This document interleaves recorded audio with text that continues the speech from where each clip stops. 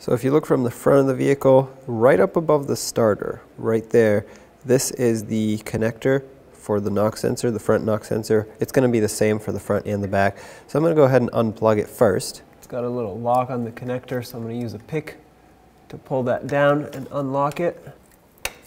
There we go. And then press on the center tab, pull the connector down.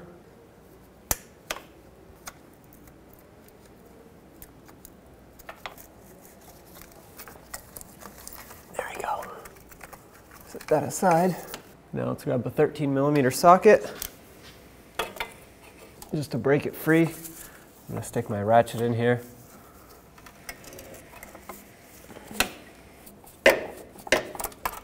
All right, that's broken free. Now I can get it with my fingers. Okay, that just fell out of the hole there, out of the mounting hole. So I'm gonna grab it and pull it straight out of there.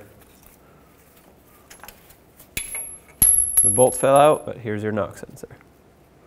Get your new knock sensor and slide it up into place here. It's gonna be pretty hard to get it started because you can't see anything. Well, I managed to get it started. Before I tighten it up, now that it's in there, I'm gonna go ahead and plug it in. Okay, I got the connector started on here. Now I just have to push it in all the way and it clicks. This one just did. Don't forget to lock the locking tab. All right, let's finish tightening it up. There's no way I can torque this at the angle that it's at, so I'm just gonna make it nice and snug with my ratchet. Okay, it's nice and snug.